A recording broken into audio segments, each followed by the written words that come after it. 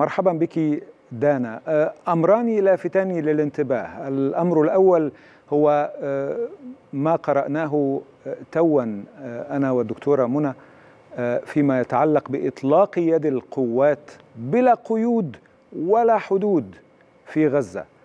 والأمر الثاني يتعلق بالغضب الشعبي بين قوسين لفشل الحكومة الإسرائيلية في إطلاق سراح المحتجزين في غزة.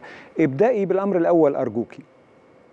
نعم بعد التحية أصل المشكلة في الأساس هي المحافظة على هذا المقاعد أو على هذه المقاعد التي يترأسها رئيس الوزراء الإسرائيلي بنيامين نتنياهو كونه رئيس الوزراء الإسرائيلي. اليوم كان هنالك بيان ومؤتمر صحفي سواء لرئيس الوزراء بنيامين نتنياهو أو لوزير دفاعه يؤاف جالان الذي أعلن فيه الاثنين حديثهما عن أن هنالك سيكون استرجاع للمحتجزين لدى فصائل المقاومة الفلسطينية في طريقتين إما في القتال والمهاجمة أو في الجهود الدبلوماسية ولكن الهدف الرئيسي هو تحرير المحتجزين لدى فصائل المقاومة الفلسطينية وبأن أعمال التوغل البرية ستتخذ مساحة أوسع جغرافيا في التوسع سواء في شمال القطاع في شرقه أو حتى وصولا في قلب العاصمة في قطاع غزة في مدينة غزة تحديدا.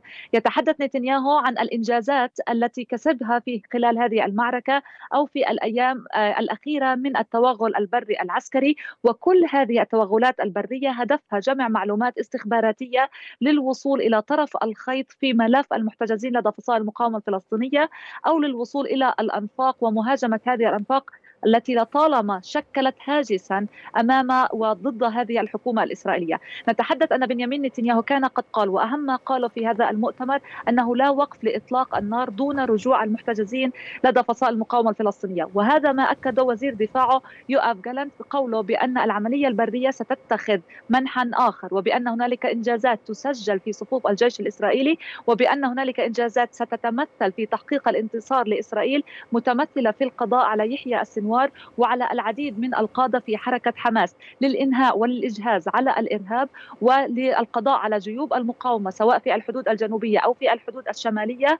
والحديث عن استعادة المحتجزين لدى فصائل المقاومة الفلسطينية وأن يكون هنالك قدرة للجيش الإسرائيلي في الدخول برا متى تشاء وكيفما تشاء لتنفيذ عمليات مركزة الأهداف محددة وقوية على حد تعبيره هذا ما بعد الحرب. ولذلك رجح بأن تكون هذه الحرب هي حرب طويلة ليست بالقصيرة. ولربما هذا كله ما دفع إلى تغيير الخطاب والسردية الإسرائيلية ما يحدث في الشارع الإسرائيلي. وهذه التظاهرات التي ذكرتها هو الأمر الثاني الهام الآن والذي يحرك ويغير هذه المعادلة. نتحدث أن اليوم كان هنالك تظاهرة لآلاف من المتظاهرين الإسرائيليين. إذا ما تحدثنا عن عدد المحتجزين لدى فصائل المقاومه نتحدث عن حوالي 248 محتجز.